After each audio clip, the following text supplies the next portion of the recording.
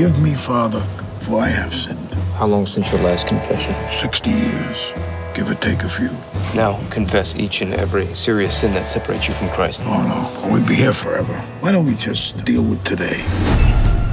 So I kind of missed you. Missed you too. That just get weird? Yes. This is my best friend. Just got back from a long trip. Let's just drop the welcome home thing. Kill him by 10 o'clock in the a.m., or you're dead too. So who's gonna do it? Do what? You know what? Come on, just say it. It's you. It's me. What do you want to do until then? So far, I stole a sweet ass car. A bunch of drugs. Nice. No drugs at the bar. It's prescription. I got the hypertension. But I did some good stuff too. Oh my God. I rescued my friend. Give me the key. There's no key. Give me the key. It's new. It's a button. It's automatic. You push the button. It's You- you push the button. computers. Oh, man, this is like the future.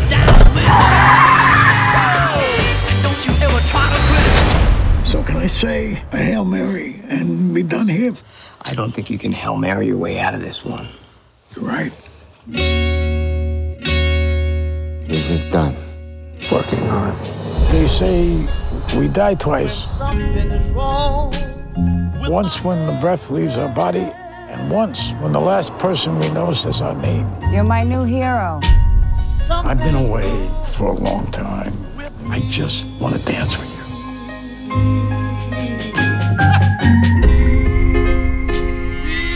You're my only friend.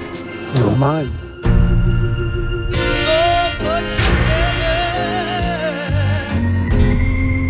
It's like the old days, isn't it? No, it's better. I can't do what I said I would do. Mercy is all I'm saying. Mercy. Finish this!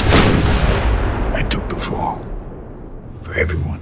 I'm a stand up guy. Listen,